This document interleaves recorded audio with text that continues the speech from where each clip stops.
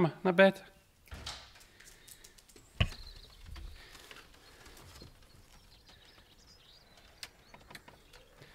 Ja, sowieso als je foto's van honden maakt, ziet dat je één hond mee hebt.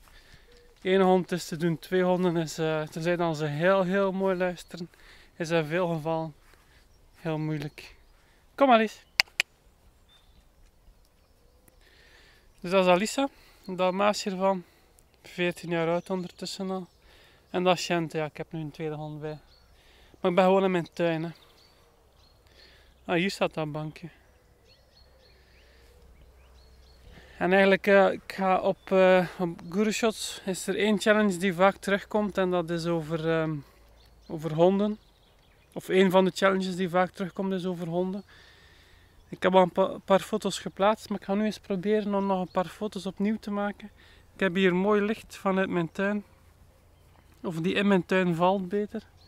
Het is rond 9 uur s morgens. Om goed te zijn zou ik eigenlijk nog iets vroeger moeten opgestaan zijn. Of ja, ik ben al rap, langer wakker, maar ik, had vroeger moeten uh, beginnen fotograferen. Daar komt het op neer.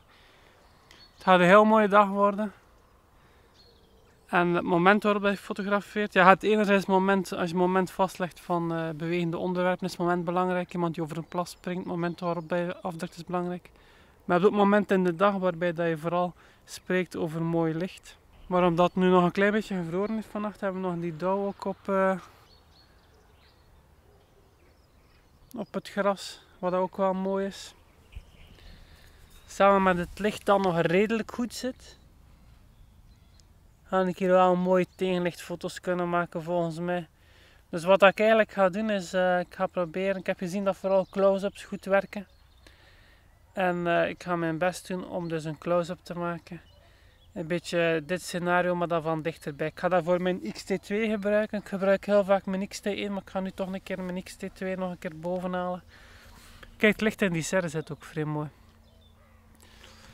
Oké, vandaag ga ik uh, in de GuruShots app een poging doen om een, uh, een foto heel specifiek voor een bepaalde opdracht te maken. Dus ik heb de indruk, op zich denk ik als je wilt goed scoren in de GuruShots app, dat je op een bepaald moment, ja je moet natuurlijk gebruik maken van de vele, van de vele opties en, en, en je moet echt geoptimaliseerd. Ik zal wel nog een keer een video maken met een aantal tips waarin dat ik uitleg wat dat je kunt doen om eigenlijk je kansen te gaan verhogen. Maar nu gaan we gewoon een keer een foto heel specifiek voor een bepaalde challenge maken. Het voordeel is dat veel challenges, zoals landschappen, komen vaak terug. Uh, kinderen komt ook heel vaak terug als onderwerp. Deze foto heb ik trouwens al heel specifiek gemaakt voor deze, of voor een opdracht rond kinderen. En dan nu heb ik gezien dat er een opdracht open staat rond uh, honden. Ik ben er al aan deel, al ik ben al begonnen. Ik heb een, uh, een, viertal foto's geplaatst. Ik had eigenlijk, oorspronkelijk was mijn beste foto of de beste scorende foto deze. Gevolgd door deze en dan deze. Terwijl dat dit eigenlijk vind ik de beste. ik had nog een andere foto die nog slechter scoorde dan deze. En die heb ik dan uiteindelijk via een swap vervangen door deze. En nu zit deze bovenaan in de lijst. Dus een van de tips om guru shots uh, actief te gebruiken en om je kans te verhogen is, gebruik maken van swaps. Je zult zien als je foto's als je je foto's plaatst en je hebt eigenlijk drie specials in de app. Je hebt de, de bliksems en daarmee kun je die exposure level hier verhogen. Of je kan die ook verhogen door gewoon stemmen uit te brengen op andere foto's. En als die open staat, als die helemaal bovenaan staat, je exposure level, dan krijg je stemmen bij. En dat is wat je daar ziet van die 450, uh, 396, 334 en 312. Als je dat bekijkt, als je dat opvolgt, dan ga je al snel zien dat dat getal op een bepaald moment stagneert. Dus nu zijn die foto's bijvoorbeeld, ze zitten vrij vast op dat aantal stemmen, er komt niet veel niet meer bij. Wat je dan kunt doen is experimenteren met swaps. En swaps zijn dan, dat is dan via deze knop hier, dan kun je eigenlijk een foto gaan omruilen met een andere foto. En dan heel vaak, dan valt op dat moment uw ranking wel even terug.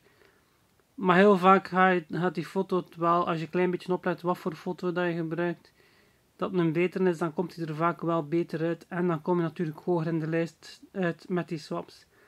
Het andere is Boost, dus dat kun je ook aankopen, die Boost.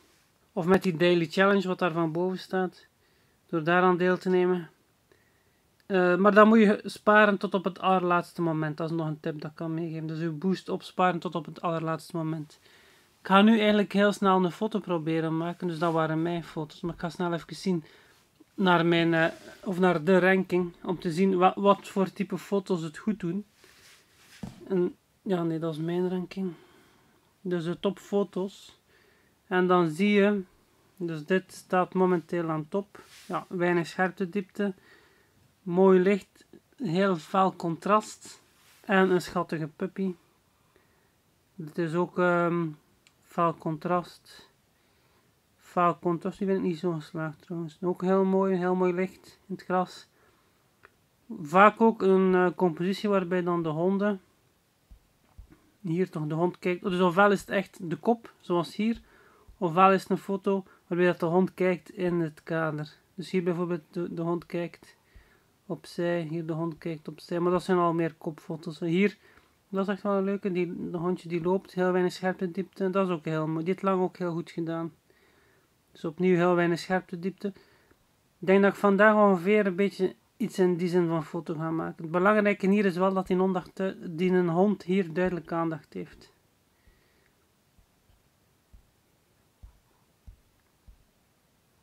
Dat is, dat is bijna zo'n stamboomfoto. En die doen het ook goed, de hondjes die lopen.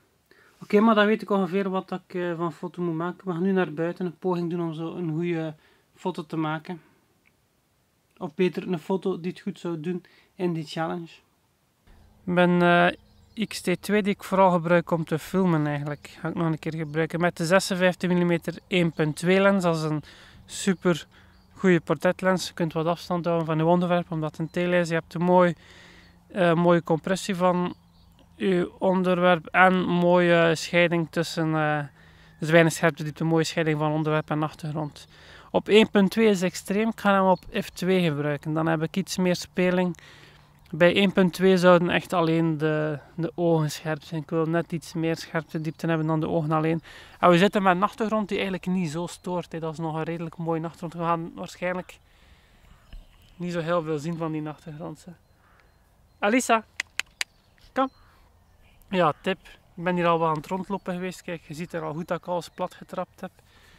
Daar moet je dus ook op letten als je een fotoshoot maakt. Hè. Die dauw op dat gras hier is even belangrijk voor de shoot als eigenlijke onderwerp. Zit. Blijven. Blijven. Dus dit is de shot die ik wil maken, zoiets. Maar dan met een totaal andere lens, waardoor je natuurlijk een veel beter beeld krijgt dan dit. Ik ga even heel snel. Ja, wat er op de achtergrond gebeurt is niet zo belangrijk. Ik ga heel snel een voorbeeldje maken blijven, Alisa. Wat arm is begint al koud te krijgen. Nee, zit. Blijven.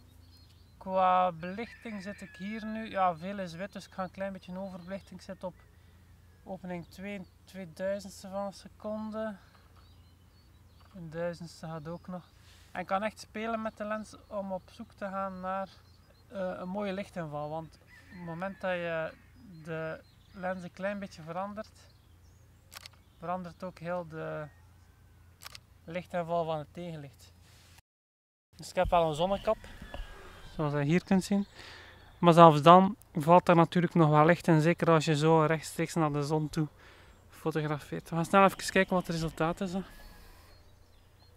Kom Alice, je mag terug binnen. Die zal blij zijn.